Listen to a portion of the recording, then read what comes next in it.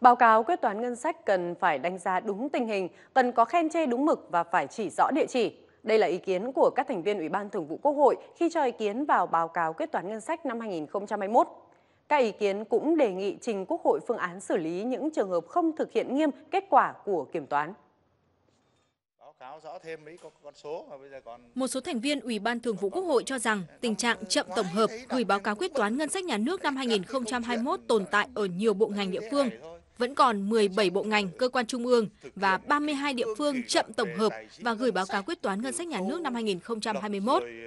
Bên cạnh đó, việc thực hiện kết luận của kiểm toán vẫn chưa được thực hiện nghiêm và đề nghị Ủy ban Thường vụ Quốc hội trình Quốc hội phương án xử lý những trường hợp cá nhân này. Tỷ lệ thực hiện cái kiến nghị của kiểm toán nhà nước rất thấp. Ở trung ương nó mới có được ờ, 10 trên 51, tức mới đạt khoảng chưa được 20% còn ở địa phương là chỉ được có 13 trên 40 thì cao hơn một tí 33% được 1 phần 3 thì cái câu chuyện mà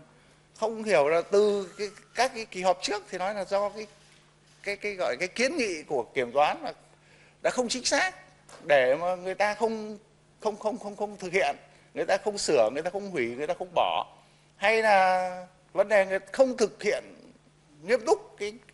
các cái kiến nghị các cái kết luận của kiểm toán nhà nước thì cái chỗ này cũng cần phải phải làm rõ để báo cáo với với quốc hội xử lý trách nhiệm tổ chức cá nhân. Một số ý kiến cũng cho rằng số liệu giữa Bộ Tài chính, Kiểm toán Nhà nước, Ủy ban Tài chính Ngân sách tại một số nội dung vẫn chưa thống nhất. Do đó đề nghị ba bên cần phối hợp chặt chẽ thống nhất số liệu báo cáo trình Quốc hội vào kỳ họp thứ năm tới. Kết luận phiên họp, Phó Chủ tịch Quốc hội Nguyễn Đức Hải cho biết, Ủy ban Thường vụ Quốc hội đánh giá cao nỗ lực của chính phủ trong điều kiện dịch COVID-19 ảnh hưởng nghiêm trọng tới mọi mặt đời sống, kinh tế xã hội. Nhưng tổng thể thu ngân sách vượt dự toán 12,7%, tỷ trọng thu nội địa đạt 82,5% tổng thu ngân sách nhà nước, chi ngân sách cơ bản đảm bảo các nhiệm vụ của nhà nước, Phó Chủ tịch Quốc hội Nguyễn Đức Hải cho rằng khi đưa ra Quốc hội để đánh giá về một năm ngân sách cần có khen, chê, đúng mực, phải chỉ rõ địa chỉ và luôn nhận định đúng tình hình. Xin có một số ý kiến như sau. Báo cáo cũng cần nêu rõ có địa chỉ cụ thể, kiến nghị kịp thời